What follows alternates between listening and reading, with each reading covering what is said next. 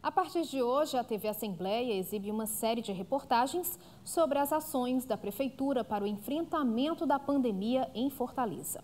Na primeira matéria, vamos mostrar como o vírus se espalhou na capital e o incremento no atendimento da saúde. Combate ao coronavírus, construindo uma fortaleza de superação. 14 de março de 2020, Fortaleza confirmou os três primeiros casos do novo coronavírus: dois homens e uma mulher que chegaram da Itália. Dessa forma, o vírus teve o primeiro contato com os bairros nobres da capital cearense. Mas não demorou muito para a Covid-19 se espalhar por toda a cidade. Foi nos bairros mais pobres, nas comunidades mais vulneráveis, onde o novo coronavírus fez mais vítimas.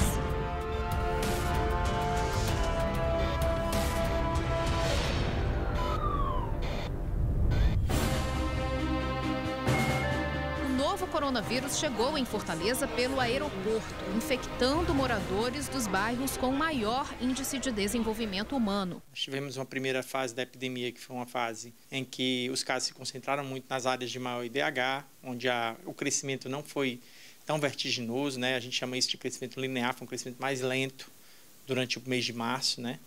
Mas a maior dificuldade que nós tivemos foi quando o vírus se dispersou para as áreas é, mais vulneráveis socioeconomicamente, e naquele momento era abril, a gente não tinha praticamente mais uma coordenação nacional, nós tivemos muita dificuldade com isso. E nós precisávamos, naquele momento, de mais EPIs, né, de mais máscaras, de mais equipamentos em geral, além, evidentemente, de uma expansão urgente da rede assistencial, sobretudo no campo da, dos leitos de UTI, mesmo leitos de enfermaria, que se fez, enfim, é, com muita velocidade diante dos problemas que a gente vivenciava naquele, naquele instante. A Regional 1 foi a que concentrou o maior número de óbitos. Dos mais de 5 mil casos e 700 mortes na Regional, mais de mil casos foram na Barra do Ceará. Aqui, 126 pessoas perderam a vida para a Covid-19. É, a densidade demográfica de alguns bairros da Regional 1 gira em torno de 30 mil habitantes por quilômetro quadrado, ou seja, é, casas às vezes sem janela, dificuldade de isolamento né, das pessoas, né? Então, é, você bloquear uma epidemia, uma epidemia de, uma, de um vírus respiratório nessas circunstâncias é difícil. Então, diante da, da, da, nossa situação socioeconômica histórica, eu acho que a adesão ao isolamento foi até uma, uma adesão que eu considero satisfatória. Acho que a população fez o que era possível naquele momento. Em 26 de março, o Ceará registrou a primeira morte, um senhor de 72 anos. E em maio, o pico da pandemia no estado, a capital contabilizava 80 mortes todos os dias. Isso aconteceu por cerca de três semanas. O sentimento era, naquele momento, obviamente, de angústia, como de todos, mas também de muito senso de responsabilidade. Era preciso o município agir com planejamento, com responsabilidade, com pressa em algumas dimensões e, fundamentalmente, integrando ações com, outras, com outros níveis de governo e trazendo para si a responsabilidade de cuidar da nossa gente, de orientar a nossa gente, de educar o nosso povo. A capacidade de atendimento foi ampliada na rede pública de saúde. Ao todo, o município disponibilizou 155 leitos de UTI, 466 de enfermaria e 170 de observação. Essa estrutura era somada ao aporte oferecido pelo governo do estado em outras unidades. Nós tivemos aqui o privilégio que o nosso gabinete de crise era gerido pelo próprio prefeito Roberto Cláudio, que é médico, doutor em saúde pública, então a área de atuação dele é exatamente essa área de epidemias, enquanto epidemiologista que é. Então o próprio prefeito foi quem conduziu o nosso gabinete de crise.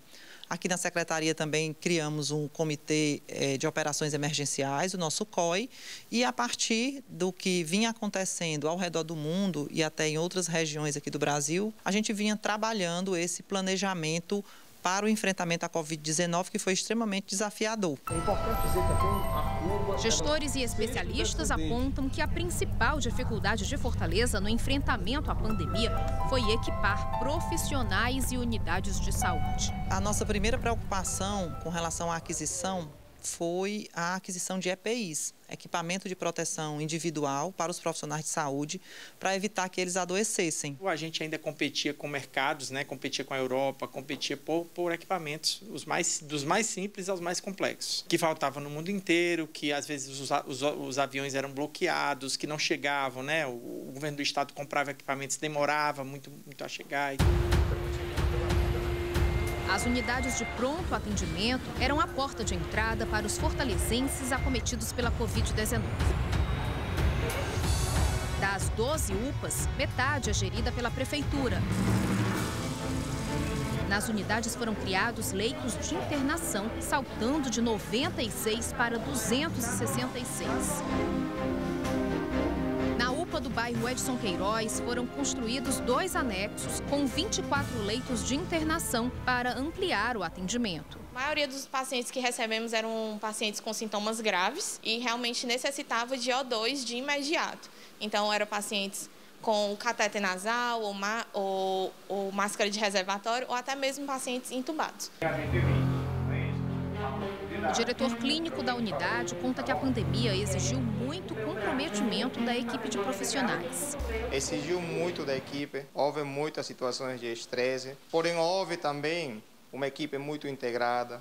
Tinham que dobrar plantões, muitas vezes ficar 36, 48 horas. Teve colega que ficou 72 horas. No transporte, houve incremento no número de ambulâncias das UPAs e do Serviço Móvel de Urgência. Seis para as regionais, quatro UTIs móveis para o SAMU e três para o Hospital de Campanha. Como a doença é, tem um alto poder de transmissibilidade, a higienização da ambulância ela tem um protocolo mais demorado. As equipes também precisavam se paramentar e desparamentar com mais frequência. Então, tudo isso levava a um tempo maior e a gente não queria que esse tempo maior de higienização, que era extremamente necessário, comprometesse o transporte dos pacientes. A Prefeitura de Fortaleza disponibilizou uma ferramenta para orientar pessoas com possíveis sintomas de Covid-19.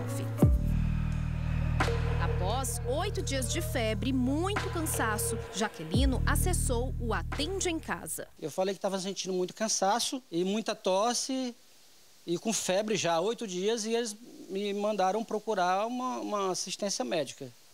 Foi aí que eu fui no posto. Ele já estava com 50% dos pulmões comprometidos, mas não precisou ficar internado. Quando eu escutei o pulmão, o pulmão direito dele já estava todo crepitando. Então, estava já instalada uma pneumonia pelo coronavírus. Fiquei monitorando ele aqui a cada 48 horas. Ele vinha e fiquei com ele no WhatsApp. Ele mandava uh, o quadro dele, né?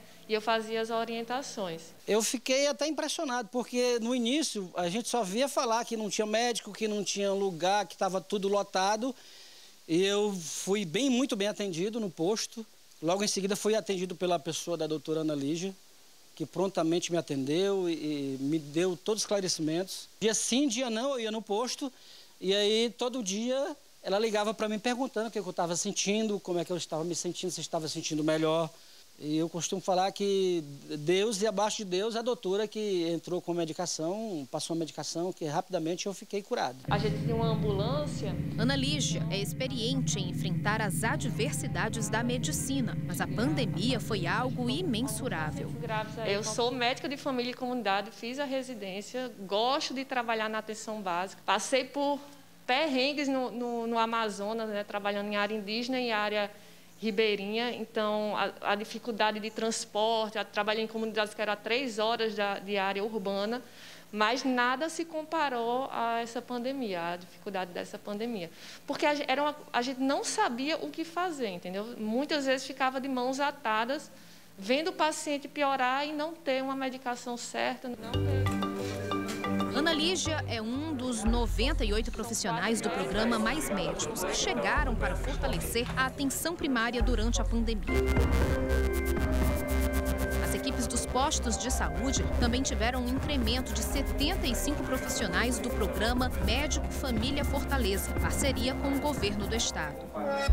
Os casos mais graves que chegavam aos postos de saúde e UPAs eram encaminhados para os hospitais. Essa logística era organizada pela Central de Regulação. Toda transferência de pacientes para ser feita de forma segura e a gente colocar o paciente com um perfil adequado naquela unidade em que ela pode melhor se beneficiar, ela é feita através de um processo de regulação que é feito por equipe médica.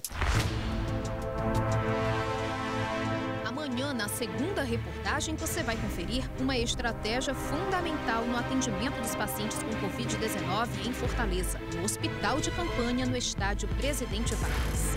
Combate ao coronavírus, construindo uma fortaleza de superação.